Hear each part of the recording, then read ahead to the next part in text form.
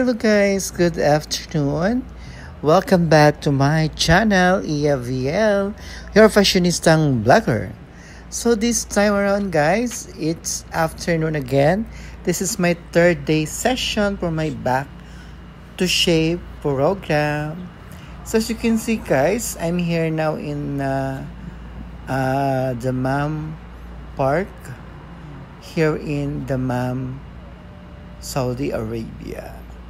Guys, you will see an overview of the mom over here at the top of the rock formation.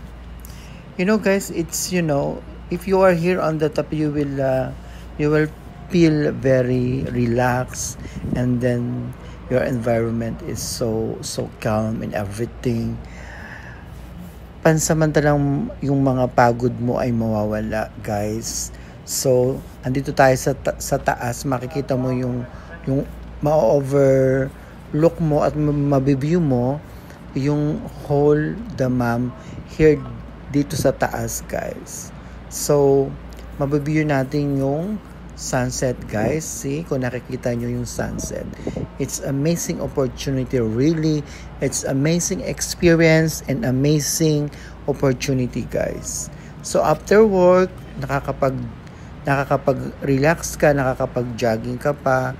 So nakakapagbawas ka pa ng fats and mga and and and calories and everything. And at the same time uh, mapapanatili mong healthy ang iyong katawan. So kapag kami mayroong mga pagkakataon tayo, go for it guys. Hi, hello guys! Welcome back! Tara guys, lakad tayo.